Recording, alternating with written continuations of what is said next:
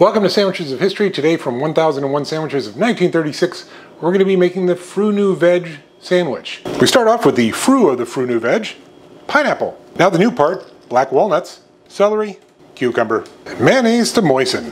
Mm-hmm. And we put that onto white bread. Good times. Okay, let's give this Frunuveg sandwich a go.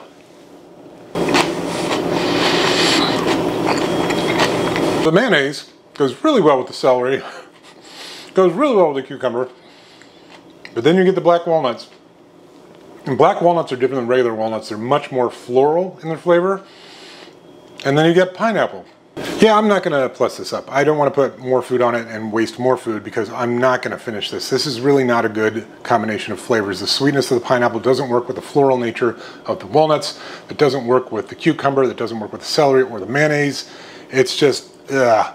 Um, I could be forced to eat it, so I'll give it a two and a half. It has nutritional value.